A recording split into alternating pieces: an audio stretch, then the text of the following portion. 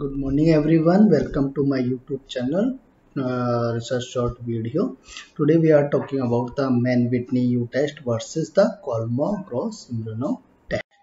Uh, whenever we see there are some similarity and differences between both the test uh, mann whitney as well as the generally in short we mention kolmogorov Smirnov test as a ks test. Both are non-parametric. This is the common similarity commonness in these two tests. And both can use for two unpaired group data. Both compute the p-value and test the null hypothesis. So in this case it's it's 100% the alternative option of our independent t-test in non-parametric.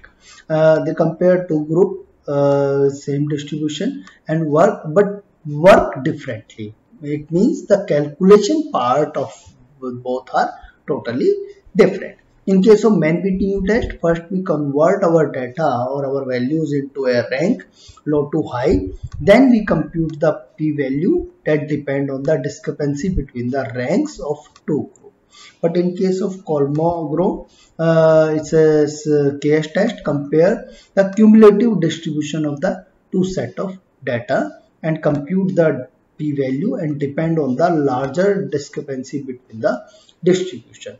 So one by one they just try to see the where is the larger discrepancy and on the basis of a larger discrepancy they compare both group and, and uh, and the important thing uh, now we want to take a decision both uh, seem similar both uh, uh fulfill our requirement. So uh, over to KS test or why we use uh, Mann-Whitney over to KS or why we use K, uh, Mann-Whitney over to KS or KS over to Mann-Whitney. So KS test is sensitive to any differences in two distribution. It may be any differences in distribution, it's a sensitive and substantial difference in shape, spread and median will result in the small p-value. In contrast, Mann-Whitney is most sensitive to change the median. So Mann-Whitney test is obviously uh, have uh, sensitive about the median value but uh, KS test uh, just focus on the highest differences between the entire distribution and Mann-Whitney U test is used more often and it is recognized by the people it's a very popular test. It's a very important uh, and the alternative option of uh, our non-parametric option. Yeah most of the time we use uh, without uh, seeing anything we just compare on the basis of Mann-Whitney Mann-Whitney test has been extended to handle the tie value as well. In case of KS test we are not able to handle the tie value so well. So uh, again it's a advantage for to use the Mann-Whitney uh, test.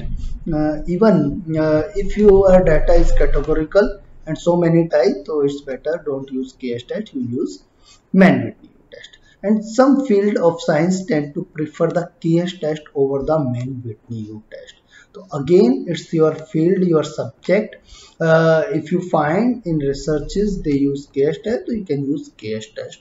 You can follow these things. Okay thank you so much for watching this video. These are the contact detail. You can follow me uh, through this uh, social networking handle. If you have any doubt any query you can ask uh, through comment. Uh, thank you so much. Please like this channel uh, this video. Subscribe this channel. Thank you so much